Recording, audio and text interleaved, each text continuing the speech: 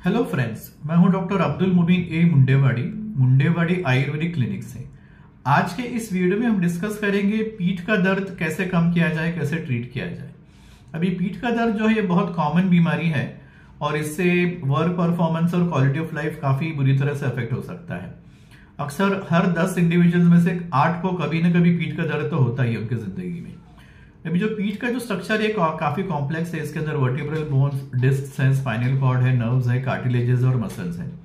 ये कॉम्बिनेशन जो है बैकबोन को काफ़ी मज़बूत बनाता है, लेकिन एट द सेम टाइम ये मोबाइल भी रहता है, जिससे मूवमेंट बॉडी की अच्छे से हो सकती है इन अ सपोर्टेड वे अभी बैक पेन जो है अलग अलग रह सकता है, इसमें अक्यूट क्रॉनिक और रिकरेंट तीन टाइप के हैं। और ये जब तीन महीने से ज़्यादा होता है तो इसको क्रॉनिक कहा जाता है। बैक पेन को फिर से अलग अलग तीन प्रकार में बोल सकते हैं, जैसे एक सर्वाइकल जिसको गर्दन का जो दर्द है वो ऊपर अपर बैक पेन है थोरासिक या मिडिल बैक पेन है और लंबार या लोअर बैक पेन है। अब इसमें भी lower back pain nearly eighty percent रहता है सभी बैक पेन्स में मिलाकर। अब इसके अंदर इसको ट्रीट कैसा किया जाए तो अक्सर ओवर द काउंटर जो पेन मैनेजमेंट के मेडिसिन रहते हैं, इससे बैक पेन कम कर सकते हैं। उसके साथ साथ आराम थोड़ा टाइम करना और ठंडा या गर्म सेक देना, ये इससे काफ़ी लोगों को फ़र्क पड़ जाता है। ज़रूरत पड़ी तो प्रिस्क्रिप्शन ड्रग्स डॉक्टर के पास से ले सकते हैं। अभी इसके अंदर क्या होता है तो non steroid anti inflammatory drugs muscle relaxants और न्यूरोमोड्यूलेटर्स करके कुछ है अलग अलग टाइप्स के मेडिसिन जो डॉक्टर्स यूज़ करते हैं। अगर बहुत क्रॉनिक हो गया और बहुत सीवियर पेन हो गया तो फिर डॉक्टर्स लोकल इंजेक्शन देते हैं या सर्जरी करते हैं। अभी इसके अलावा acupuncture massage biofeedback therapy laser therapy electrical nerve stimulation और इस तरह के दूसरे नॉन सर्जिकल स्पाइन ट्रीटमेंट्स कई हैं, जिससे क्रॉनिक बैक पेन में काफ़ी अच्छा फ़र्क पड़ सकता है। इसके अलावा आयुर्वेदिक मेडिसिन जो है, आयुर्वेदिक ट्रीटमेंट भी कुछ महीने दे सकते हैं, जिससे सूजन, दर्द स्टिफनेस कम कर सकते हैं। जो डिस्क हैं कार्टिलेज बोन्स हैं, उनको हील रीबिल्ड मज़बूत बना सकते हैं, और जो बोन्स डैमेज हुए हैं वर्टिब्रल को हील कर सकते हैं। अब इसमें डायग्नोसिस क्या है और बैक पेन का कॉज क्या है? ये इस डिपेंड करता है इसके ऊपर तो उसके हिसाब से नियरली आयुर्वेदिक मेडिसिन चार से आठ महीने तो कम से कम लेना पड़ता है। लेकिन इसके अंदर सेल्फ मेडिकेशन न करे। इसके अलावा कुछ रेड फ्लैग्स हैं जहाँ पे इमीडिएट ट्रीटमेंट लेना ज़रूरी है और इसमें सिम्टम्स क्या क्या है। अगर दर्द कम नहीं हो रहा है या फिर एडिशनल सिम्टम्स है, जैसे सेंसेशन इम्पेयर हो गया या बहुत ज़्यादा सीवियर पेन है या पेन बढ़ता जा रहा है इनकॉन्टिनेंस है बाउल कंट्रोल चला गया, या लिम वीकनेस है, या पैरालिसिस है फीवर है या अनएक्सप्लेन वेट लॉस है, ये सब रेड फ्लैग्स है जब ट्रीटमेंट खुद नहीं करना चाहिए, तुरंत मेडिकल हेल्प लेना चाहिए। अब ये सब डिस्कस करके हम थोड़े से कुछ simple steps precautions lifestyle changes और होम रेमेडीज का डिस्कस करेंगे, जो बैक पेन पीठ के दर्द को ट्रीट करने में काफ़ी यूजफुल होते हैं ये। तो इसमें फ़र्स्ट पॉइंट है कि अपना पोस्चर हम जो बैठते हैं, वो कैस, किस तरह से बैठते हैं, ये इंपॉर्टेंट है। तो जब हम बैठेंगे तो सपोर्टिव चेयर का इस्तेमाल करें, जाके, जहाँ पे अपने हिप्स जो है नीज से ऊपर है। और जो बहुत लो चेयर्स रहते हैं, जैसे सोफा इसको अवॉइड करें। नेक को और पीठ को अपराइट पोजिशन में रखें, और नेक आगे झुके नहीं। डेस्क पे काम करने के टाइम पे ट्विस्टिंग मूवमेंट्स करना नहीं चाहिए। और इसके लिए जो अपना कीबोर्ड माउस और टेलीफोन है, ये सब नज़दीक रखना चाहिए। हमारे एल्बोज जो है वो डेस्क हाइट पे रहना चाहिए और चेयर जो है बिल्कुल उसके स्ट्रेट अंदर रहना चाहिए। अपनी जो राइटिंग जो लेवल है उसके नीचे। अभी ज़रूरत पड़े तो बैक में टॉवल या कुछ रख सकते हैं, छोटा सा पिलो रख सकते हैं सपोर्ट के लिए।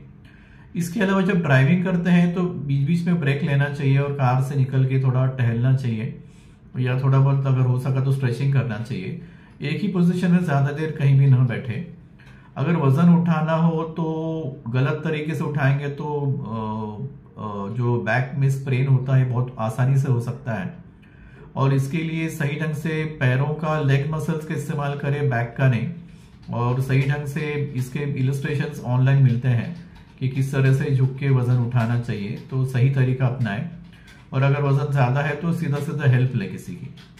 अभी सेकेंड पॉइंट है फोम रोलर्स फोम रोलर्स ऐसी चीज़ है जो बैक में लगा के उसके लिए सेल्फ मसाज यूज़ कर सकते हैं अपनी बॉडी वेट को यूज़ करके, और इससे पेन काफ़ी हद तक कम होता है।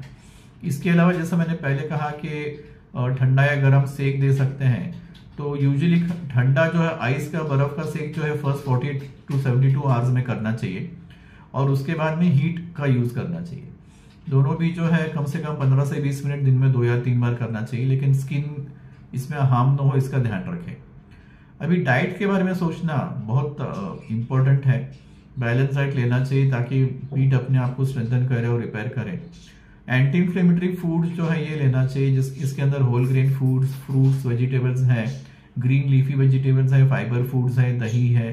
स्पाइसेस को यूज़ कर सकते हैं, जैसे जैसे टर्मरिक है अदरक है। ग्रीन टी है और काला मिर्च जो है ये यूज़ कर सकते हैं। जो इन्फ्लेमेशन बढ़ाने वाले जो है रिफाइंड फ्लोर आटा जो है या ग्लूटेन है refined sugars trans fats saturated fats red meat ये इन्फ्लेमेशन बढ़ा सकते हैं। दूध, हल्दी तो बहुत कॉमन है जो बैक पेन के लिए मसल स्प्रेन के लिए यूज़ करते हैं। जिंजर ग्रीन टी भी इस्तेमाल कर सकते हैं विटामिन डी यूज़ कर सकते हैं, जिससे बोन और पीठ का दर्द काफ़ी कम कर सकते हैं। अगला इंपॉर्टेंट पॉइंट है कि स्मोकिंग तुरंत बंद कर देना चाहिए। स्मोकिंग से डिस्क को जो ब्लड फ्लो है, वो कम करता है, इसकी वजह से डिस्क डीजेनरेशन हो सकता है। और स्मोकिंग से कैल्शियम एब्सॉर्प्शन भी कम हो सकता है और न्यू बोन ग्रोथ जो रुक जाती है। इससे रिस्क ऑफ़ फ्रैक्चर्स बढ़ता है ऑस्टियोपोरोसिस की वजह से। तो स्मोकिंग बंद करना बहुत ज़रूरी है। साथ ही साथ वज़न कम करें।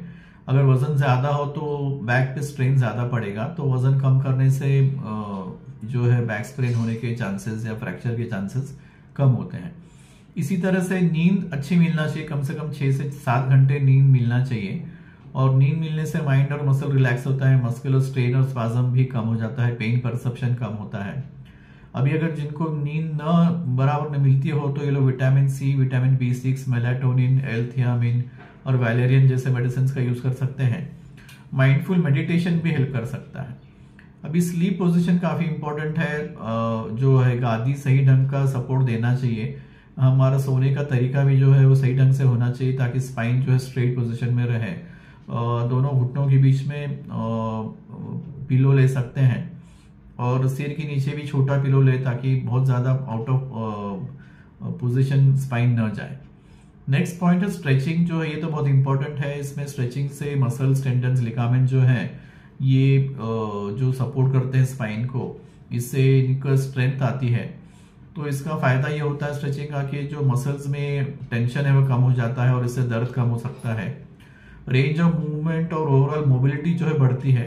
इसके अलावा स्ट्रेचिंग में जो है रिस्क ऑफ़ डिसेबिलिटी भी जो है बैक पेन की काफ़ी कम हो जाती है। तो ये पीठ का दर्द जो है, ये इसके लिए एक्सरसाइजेस कौन से बेनिफिशियल है? तो knee to chest stretch modified cobra standing hip stretch seated spinal twist pelvic tilt and gluteal glute bridges ये सब यूजफुल है और इसके सब इंफॉर्मेशन इंटरनेट पे मिल जाती है।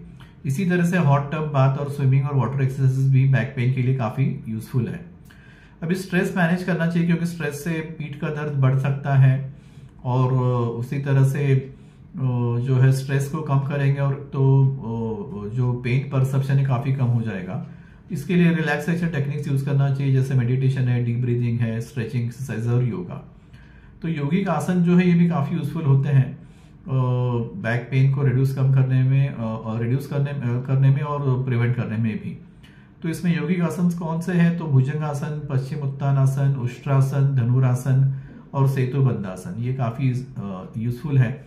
इसके सब डिटेल्स और इसके इमेजेस वगैरह जो है ऑनलाइन मिल जाते हैं. या फिर आप कोई योगा क्लासेस ज्वाइन कर सकते हैं. अभी बैक पेन प्रेगनेंसी में भी ज़्यादा हो सकता है क्योंकि बॉडी के जो लिगामेंट्स है ये सॉफ्ट हो जाते हैं लेबर के लिए। और ये जो है, इसकी वजह से लोअर बैक और पेल्विस पे स्ट्रेन ज़्यादा आता है और इससे बैक पेन हो सकता है। तो इसके अंदर जो अभी तक जो मैंने भी जो भी मेथड्स बताया, जो भी एक्सरसाइज बताए, इन्हें इनको थोड़ा सा ज़्यादा संभाल कर ये प्रेगनेंसी में भी यूज़ कर सकते हैं। तो इस तरह से जो बैक पेन है, इसको कॉम्बिनेशन आराम का मेडिसिन का डाइट का एक्सरसाइजेस का ये सब इस्तेमाल करके पेन जो है लॉन्ग टर्म बेसिस पे कंट्रोल कर सकते हैं। अब इसमें ज़रूरी है कि कोई क्वालिफाइड और मेडिकल क्वालिफाइड और एक्सपीरियंस मेडिकल प्रैक्टिशनर इसकी डायग्नोसिस करे और सही ढंग से ट्रीटमेंट बताए।